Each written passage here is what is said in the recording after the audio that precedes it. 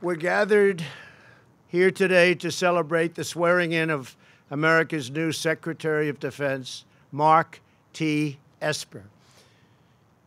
Secretary Esper, your lifetime of noble service has prepared you for this immense responsibility, and that's what it is immense responsibility. On behalf of our entire country, thank you and congratulations. Congratulations. I have absolute confidence that Mark will ensure that our incredible military is fully prepared to deter conflict and to defeat any foe.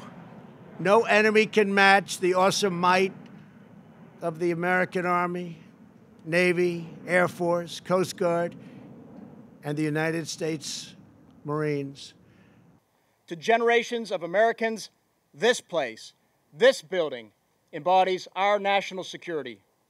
However, a building is nothing without the people within it and the spirit and dedication they bring to it each and every day. As such, I want to thank the great patriots, military and civilian alike, who come to work here and focus on one thing supporting the more than 2 million soldiers, sailors, airmen, and Marines who sacrifice and serve in defense of our great nation.